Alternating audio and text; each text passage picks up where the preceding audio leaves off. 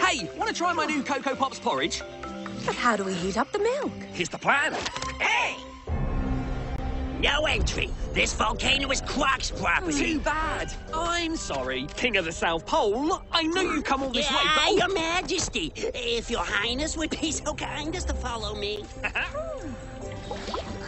And now, Coco Pops porridge for everyone. New Coco Pops porridge, chocolatey fun for everyone.